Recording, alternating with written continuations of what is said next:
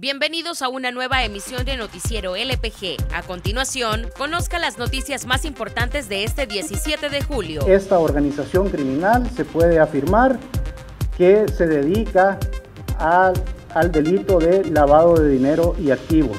Las primeras investigaciones que se han realizado han permitido la detención hasta este momento de 110 personas. Hay que mencionar que estas personas de alguna manera tienen relación con organizaciones criminales que se dedican al narcotráfico, tienen relación también con pandilleros.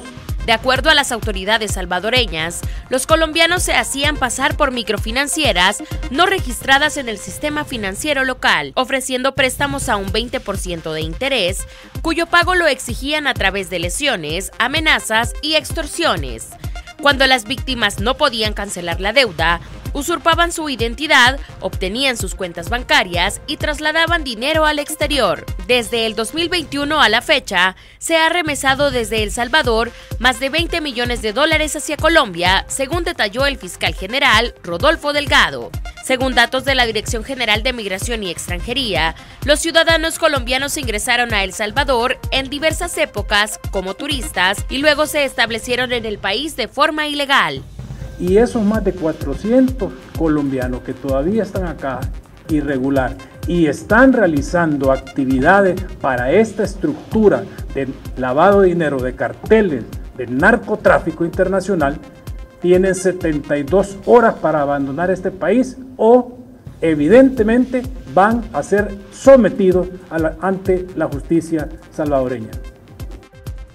Ana Gloria Urquilla, de 56 años, fue enviada a prisión por el Juzgado Primero de Paz de Zacatecoluca, mientras continúa el proceso penal en su contra por el delito de homicidio en contra de Carlota Rosales, de 84 años.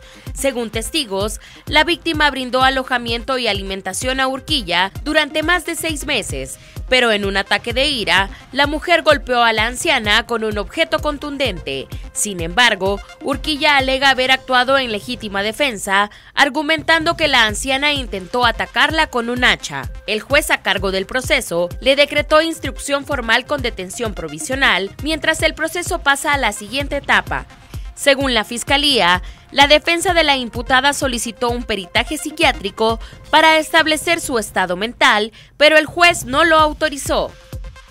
Nuestro Tiempo, el FMLN y Arena oficializaron el fin de semana a los candidatos que competirán bajo sus banderas en las próximas elecciones presidenciales, legislativas y municipales en las que esperan derrotar al partido Nuevas Ideas. El partido oficialista buscará la reelección de Nayib Bukele, pese a lo que establece la Constitución de la República.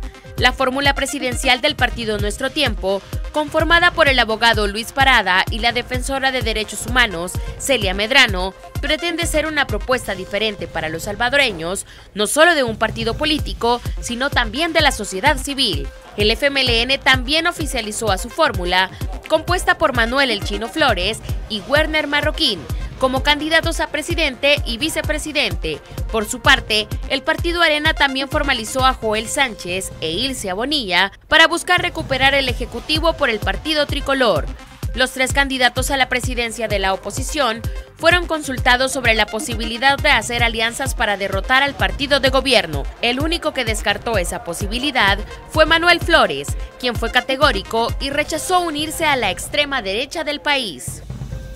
La extracción de agua del lago de Coatepeque será restringida por el Ministerio de Medio Ambiente y Recursos Naturales como parte del manejo de dicha área natural protegida. La decisión no fue bien vista por las comunidades que residen en la cuenca, pues afirman que no los tomaron en cuenta en la elaboración de dicho plan. Voceros de dos de las asociaciones de desarrollo comunal del lago, quienes pidieron anonimato, confirmaron que la Autoridad Salvadoreña del Agua les está solicitando información y les colocará medidores. No obstante, desconocen cuánta agua podrán usar y lo único que tienen claro es que la extracción será limitada. La prensa gráfica envió a Medio Ambiente una lista de preguntas sobre los señalamientos de las ADESCOS, pero al cierre de esta nota informaron que seguían gestionando las respuestas. También se solicitó a la Fundación Coatepeque una opinión sobre el plan de manejo, pero dijeron que aún estaban revisando el documento. Gracias por haberse informado con nosotros, les esperamos mañana.